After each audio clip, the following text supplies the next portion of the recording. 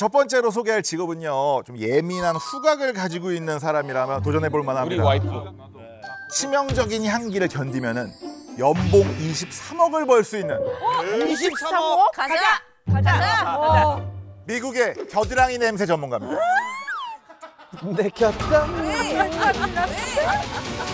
세상에. 겨드랑이 냄새. 내 겨드랑이 아니면 남의 겨드랑이. 남의 겨드랑이. 아 잠깐만. 23억 연봉. 그러니까. 나 생각해 볼 수가 있어. 23억. 알수 있겠다. 23억 괜찮은 것 같아요. 어 그래 맡을 수 있어요? 맡을 수 있는 것 같아요. 어, 지금 그러면은 한번 해볼까요 시뮬레이션? 저희 동그랗게 설 테니까 동그랗게 설 테니까 한번 정말 다양한 사람들의 겨드랑이로 겨드랑이 냄새로 먹고 사는 직업인데 네. 사진이 준비됐거든요. 어? 함께 보시죠. 글라디스 잘 보세요.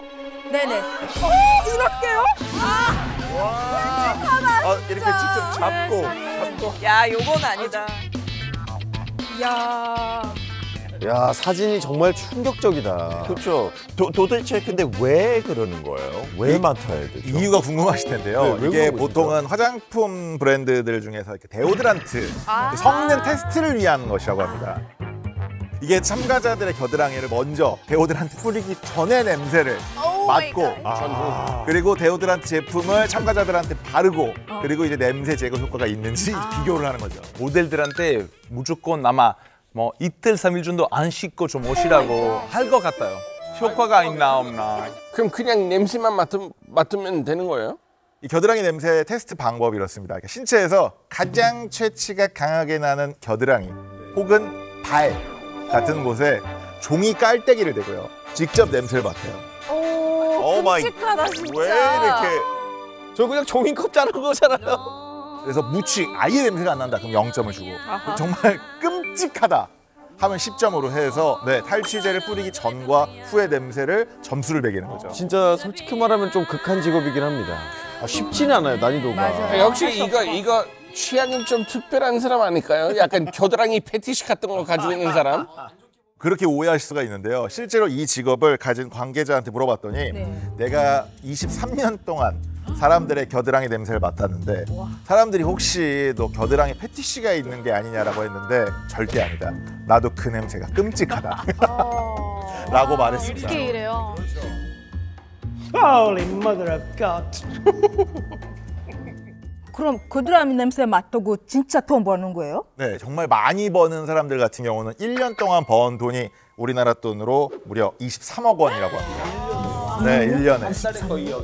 어떻게 23억 진짜 어떻게 대박이다. In the last 12 months, I made $2 million. There's a lot of money in deodorants and antiperspirants and big cosmetic companies. 아니 근데 솔직히 이 정도 추면 이 솔직히 후각 정도는 그냥 포기할 수 있지 않을까요? 고민해볼 만 해요. 글라디스 헤어 안 해요? 23억. 해요. 아 23억? 어, 할 것 같아요. 어, 저도 진짜 눈 질끈 감으면 뭐 1년 그냥 바짝 벌어서 1년만 딱 다니고 안 한다. 생각하면은 나쁘진 않은 것 같기도 하고. 이게 세후 이렇게 25삼억이요. 나도 그 생각해. 되게 중요해요. 이거를 되게 고민하는 것 중요해요. 자체가 아, 그만한 연봉을 받을 자격이 있다는 거야. 다들 하고 싶다고 다 할 수 있는 게 아닙니다. 아, 그렇죠, 그렇죠. 그렇죠. 이게 정말 미세한 차이도 겨드랑이 냄새가 7점짜리 악취인지 4점짜리 악취인지 구별할 수 있어야 되는 그런 미세한 차이도 잡아낼 수 있을 만큼 예민한 후각 그리고 아주 강철처럼 단단한 비위가 필수죠. 아 정말 아, 대단한 겨물리애들이네요. 근데 겨드랑이도 심한데 네. 저는 입냄새 감별사도 있다고 들었어요. 그건 뭐야? 오, 이거 더, 더 그렇다. 어, 그럼 여기, 여기 바로 앞에서 또더 심해요. 껌 개발한 회사 그리고 뭐 가글, 가글. 치약 뭐 등등등 뭐 그런 회사들 다 그런 거 필요하니까 아. 예, 그런 입냄새 감별사 필요하다고 해요. 그리고 남성들보다 여성 직원들이 훨씬 많대요. 어? 왜요? 여성들이 이렇게 어, 예민하니까. 후각이 훨씬 더 예민 발달돼. 있으니까. 발달돼 있대요. 맞아 맞아. 자 연봉 1억이 보장되는 겨드랑이 냄새 전문가 귀가 이 솔깃하면서도 아주 귀가 이렇게 접히고 있어. 어뭐 현기증이 나는 것 같기도 하고 아, 다음 거를 좀 다시 노려볼게요. 일단 다음 틈새 직업을 또 만나볼게요. 네, 다음은요 중국으로 떠나보겠습니다. 최근 상하이 일대에서 아주 핫한 직업으로 꼽히는데요. 불륜과 이혼을 막아줌으로써 가정의 평화를 지켜주는 일명 내연녀 퇴치사입니다. 내연녀 나- 퇴치사 이거 나 뭐야? 이 직업 저 마음에 들어요. 그래요? 욕을 욕을 죽어라고 해주면 되는 거 아닐까요? 머리 한번 잡고. 아니 뭐야 이거? 신기하다. 뭐 어떻게 된 거죠? 이거? 최근 중국에서는요 이혼율이 빠르게 상승하고 있는데요. 가장 큰 원인 중에 하나가 바로 남편의 불륜이라고 합니다. 그래서 이 이혼율 증가와 함께 몸값을 높이고 있는 사람들이 바로 내연녀 퇴치사인데 요. 정말 그 말 그대로 내연녀에게 물러나기를 권유하는 지- 전문가입니다. 아 어떻게 권유를 하는 거지? 어, 이거 그냥 변호사 고용해서 소송하면 안 되는 거예요?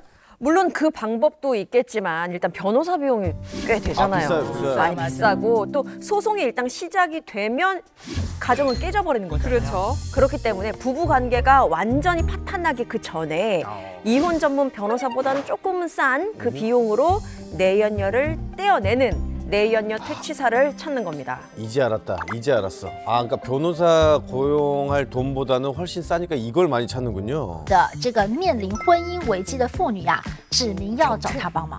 我是一名情感导师，大家给我起了个别称叫“小三劝退师”。 정확하게 내연녀를 어떻게 대체하는 거예요? 먼저 이웃집 주민으로 가장을 하거나 가정부, 유모 이런 직업으로 위장 취업을 합니다. 뭐야? 위장 취업을 해서 내연녀에게 접근을 한 다음에 바람핀 그 남자에 대한 불리한 정보를 계속 흘리는 거예요. 뭐 그 사람이 빚이 많다더라. 그 사람이랑 결혼하면 뭐 시부모를 모셔야 한다더라. 이런 좀 불리한 정보들을 슬쩍슬쩍 흘리는 겁니다. 심지어는요 점쟁이로 위장을 해서 접근을 하기도 하는데 이미 내연녀에 대한 정보를 다 알고 있잖아요. 그러니까 그 내연녀의 환심을 조금 더 쉽게 살 수 있는 거죠. 아 그래서 나를 믿게 만든 다음에 이 사람과 너는 어울리지 않아라고 해서 어 근데 이거 되게 똑똑하다. 괜찮다. 응. 이거 할 수 있을 것 같다. 아 저는 처음에 아이 또 뭐 이상한 직업인가 했는데 아니 그럴싸하고 되게 괜찮은 것 같아요. 현지에서 굉장히 폭발적인 인기를 끌고 있다고 합니다. 이게 2001년 상하이에서 창업한 이 업체가 있는데 지금 중국 전역에 60여 개의 지사를 두고 전문 상담 직원만 300여 명에 이르는 규모로 성장했다고 합니다. 와 이거 근데 이거 수익이 어떻게 어떻게 될까요? 건바이 건입니까 아니면 건발 건. 본격적으로 어떤 그 작업에 들어가면요 여러 명의 직원이 한 팀이 돼서 움직인다고 합니다. 그러니까 네. 성공 사례비는 건당 건다. 한화로 최대 1억 원 수준이라고 해요. 최대. 건담. 여러분 겨드랑이에서 우리가 벗어날 수 있습니다. 어 좋다. 내연녀 퇴치사 되려면 작업 조건이 있나요? 어 관심이 좀. 네, 관심 있어요. 어 그래요 괜찮아요 이거는. 네. 근데 이게요 생각보다 좀 까다롭습니다. 아, 일단 법률에 대한 지식을 갖고 있어야 되고요. 혼인 상담사 자격증이 필요하고요. 또 사람을 상대하는 직업이기 많다. 때문에 심리학 공부도 해야 한다고 합니다. 그리고 현장에 투입되기까지는 무려 3년간 철저한 교육을 받는다고 합니다. 교육? 아니 근데 요즘 불륜 사례가 너무 많아가지고 네. 솔직히 뭐 내연녀를 처치해가지고 가족의 평화를 쥐- 지킨다는 그런 취지는 진짜 좋은 것 같아요. 네 맞습니다. 네, 다음으로 소개해드릴 틈새 공략 밥벌이는요. 네. 골프공이 연못으로 많이 빠질수록 짭짤한 수익을 올리는 직업입니다. 어. 미국과 유럽에서 아주 핫한 골프공 다이버입니다. 아, 요거 알겠다, 한번. 씩 들어본 적 네. 있는 것 같아요. 이거 직업으로 됐어요? 근데 저 연못 위험하잖아요. 사람들 많이 빠져서 죽고 그러잖아. 미국 대 악어도 있잖아요. 진짜. 위험하겠다. 와. 어, 근데 멋있다.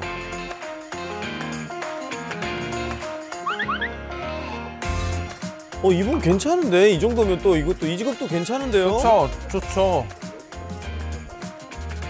다이빙도 하고 아니 물놀이 느낌 나죠? 재밌잖아요. 공사. 대박. 세상에. 어 이거 저렇게 많이 나와? 어, 너무 괜찮지 않습니까? 그러니까요. 어. 미국에서는요 연간 3억 개의 골프공이 연못에 빠진다고 하거든요. 근데 이 골프공을 건져내지 않으면은요 화학 물질이 있어서 수질을 오염시킬 수 있다 고 환경 오염 합니다. 되는 거야. 네네네. 그럼 무조건 건져야겠네. 그럼 빨리 건져내야 됐네요. 예. 네, 맞아요. 그래서 정기적으로 이 골프공들을 건져내야 하는데 골프공 다이버는요 골프장 근처에 뭐 호수나 강에 빠진 공을 수거하는 일을 하고 있습니다. 음. 사람이 직접 물, 물 들어가서 해야 되는 거예요. 맞아요. 직접 들어가야 하는 데요. 잠수복과 산소통 마스크 이런 스쿠버 다이빙 장비를 착용해야 하고 네. 연못 바닥까지 잠수를 해야 돼요. 그래야 골프공을 주울 수 있겠죠. 어. 그물에 주운 골프공을 담고 계속 이동을 하면서 줍는 일입니다. 진짜 약간 해녀랑 비슷한 느낌이긴 해요. 해녀랑 비슷하네요. 맞아요. 골프장의 해녀라고 볼 수 있는데 한 시간만 작업을 해도요 골프공 천 개가 기본으로 모인다고 해요. 그렇게 건져낸 골프공들은 세척을 한 다음에 무려 12개의 등급으로 나뉜다고 합니다. 어, 굉장히 세밀하게 나뉘는 거죠. 상태가 좋은 공은 한 개당 1달러의 가격으로 뭐 중고 사이트나 골프장 등에 판매됩니다. 대한민국에서도 어마어마한 시장이에요. 이 어, 골 그렇죠. 라운딩 하기 전에 무조건 lost ball 사는 거예요. 아. 이 lost ball은 잃어버린 공을 다시 누가 주워가지고 다시 판매하는 거예요. 거기 제 돈이 많이 들어가 있어요. 거기. 알베 돈 들어가 있어요? 아, 저 지분? lost ball 지분 있어요? 지분이 있죠. 로스트볼. 어. 그러면 돈 얼마나 벌어요? 잠수 능력에 따라서 천차만별인데요. 실제로 미국의 한 골프공 다이버는 골프공을 팔아서 14년 동안 한화로 약 170억 원을 벌어들였다고 합니다. 와. 170억. 근데 우리 신랑 수영 너무 잘하니까 여기 가면 괜찮은 것 같아요. 여보 빨리 침 싸요. 우리 아, 가자. 괜찮네. 형님 어. 여기서 공 주우시고 누나 비명지 들고 돌아다니고 그러면 둘이 쌍끌이 여선으로 그냥 어. 금방 100억 벌겠네요. 그러니까요. 200억, 100억이 뭐예요? 200억 거뜬하지. 저는 그런 것도 잘해요. 네. 사실 그 공이 물에 빠지면 진짜 기분이 나쁜데. 그렇죠. 만약에 그 걔가 직접 내가 가서 줄 속에 있으면 너무 좋을 것 같고 수연 좋아하는 사람들이 여기 수연도 하고 놀고 그러니까 약간 그 기분 때문에. 운동도 하고 돈도 벌고 너무 좋죠. 어. 근데 또 그렇게 장점만 있는 건 아니에요. 왜요? 왜냐하면 연못 속에 잠수복과 산소통 마스크 이런 거 무거운 장비들을 착용하고 들어가야 되잖아요. 네. 그리고 또 천 개가 넘는 골프공을 그게 든 무거운 가방을 계속 끌고 다녀야 돼요. 아 계속. 그리고 또 운이 나쁘면 아까 말씀하신 대로 악어를 만날 수 있어요. 악어를. 오. 잠깐만 저 정도 크기의 악어가 왜 있어? 어머, 뭐야? 위험한데? 진짠데? 어 CG 아니야? 사람도 자, 그냥 거뜬히 이 잡아먹겠는데요? 정도면 CG 아니에요? 아 이거 진짜로 골프 그. 플로리다 쪽에. 플로리다라서 어.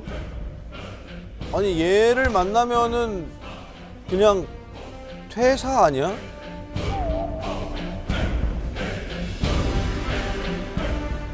와 크기가 진짜 어마어마하네요. 네, 목숨 걸고 해야 되는 일이네요. 아이 그래도 170억이면 뭐 매일 만날 거 아니잖아요. 근데 매일은 안 만나도 한 번만 만나도 끝이에요. 아이 170억. 170. 와 근데 목숨값이었네 170억이. 이게 어마어마한 수입에 혹했는데 네. 또 악어를 만날 수 있다는 얘기에 마음을 또 이렇게 접게 되네요. 혹시 뭐 목숨을 걸지 않아도 되는 직업 이런 거 좀 안전하면서 어 좀 심플하고 이런 직업 없을까요? 어, 이번에 냄새도 맡을 필요가 없고요. 개밥도 먹을 필요가 없습니다. 아 오케이. 가만히 연봉 8천만 원을 벌 수 있습니다. 됐다 이거 저좀 가만히 욕심을 하면 네, 연봉이 아니라 월급으로 8천만 원입니다. 가면 있으면 네. 그런 직업 뭔데요? 어디서? 네, 저는 좀 욕심을 줄여서 이걸로 하겠습니다. 바로 두바이 원정 거지입니다. 두바이 원정 거지요? 완전 거지? 그게 정식 원정 이름이에요? 거지가 거지? 8천만 뭐야? 원. 어떻게요? 에? 그냥 길거리에서 이렇게 거지? 어떻게 돈 벌어요? 근데 그럼? 거지가 어떻게 한 달에 8천을 벌어요? 그러니까요. 그러니까요. 이게 거지도 이게 부잣집에 가야지 쌀밥 구경할 수 있다고. 네. 두바이 같은 경우는 어떻게 보면 부자 도시로 알려진 곳인데 이렇다 보니까는 거지들의 수입도 상상을 초월합니다. 말이 심지어 정말 그러니까 세계 각국에서 두바이로 원정으로 오는 원정 거지들까지 생겨났다고 합니다. 와. 아니, 원정까지 갈 정도이면 수입이 짭짭할 얘기인데 어, 저도 그런 생각을 해봐야겠네요. 이게 약간 종교적인 문제가 있는데, 네. 그러니까는 거지들한테도 성수기가 따로 있다고 해요. 뭐 뭐예요? 그러니까 언제요? 거지들이 그 원정을 떠난 시즌이 이슬람 그 라마단 기간. 아 라마단. 그때 돈 어마어마하게 벌어요. 어, 알고 진짜. 있어요. 왜요? 그 약간 디톡스 하는 기간이거든요. 아, 네, 좋은 죄들. 일만 하고 이제 나쁜 에너지를 보내자라는 그런 게 있어가지고 예, 그 가난하거나 뭐 도움 필요한 사람이 있으면 무조건 100% 도와주는 그런 문화가 있어요. 너무 좋네. 예. 근데 두바이까지 가려면 사실 비, 비행기표도 사야 되고 그러게요. 뭐 맞아요. 숙박비도 들어갈 텐데 그 비싸지 않아? 네, 이게 진짜로 두바이 경찰들이 왜 이걸 조사했는지 모르겠는데요. 두바이 경찰대에 따르면 한 달에 약 8천만 원을 번 거지도 있다고 합니다. 한 달 진짜. 대박. 한 달. 야. wow. 나쁘지 않네. 네, 그러다 보니까는 이 수입이 워낙 짭짤해서 네. 낮에는 이제 거지처럼 구걸을 하고 밤이 되면 이제 5성급 호텔에서 잔다고 합니다. 그게 뭐야 대체? 이 원정 거지들은요 정말 치밀하게 카드 단말기까지 들고 다닙니다. 카드까지요? 말도 안 돼. 이 사람 거지예요? 아니에요. 이 사람 거지 아니에요. 이 사람은 아니에요. 아 이거 가짜 냄새 나는 그러니까. 근데 실제로 이렇게 해요, 진짜. 진짜 실제로 이렇게? 많이 해요. 그 신호등 걸리잖아요. 그러면 거지들이 막 물려서 와요. 막, 어, 나 먹을 게 없는데 뭐 좀 달라고 막 하면서 그때 받아요. 이야. 대박이네. 와 미쳤다. 근데 그럴싸한 게 네. 그 라마단 기간 아니더라도 아랍 문화를 보면은 기본적으로 무슬림들이 해야 될 거 있거든요. 근데 그 중에서 그 가난한 사람들한테 돈을 지불해야 된다라는 그런 문화가 있어서 있어요. 라마단 시즌 아니어도 거지들이 되게 잘 살 수 있는 그래서 나라들이 원정 거지가 이 나라로 가는군요. 근데 진짜 동네 잘 골라야 돼요. 영국에도 그런 단말기 가지고 있는 거지 한 명 있었어요. 신문에도 나오고. 근데 메이페라는 런던 쪽인데 저기는 진짜 부자들 만 살 수 있어서 저기 돌면서 매일 뭐 수백 파운드 벌고 막 여행도 파리도 가고 거지가요? 이비자도 가고 거지가? 심지어 집도 있어요. 네. 거지가 이비자를 간다고. 우리가 거지였네. 신나게 놀았어요. 그래서 신문에 나왔어요.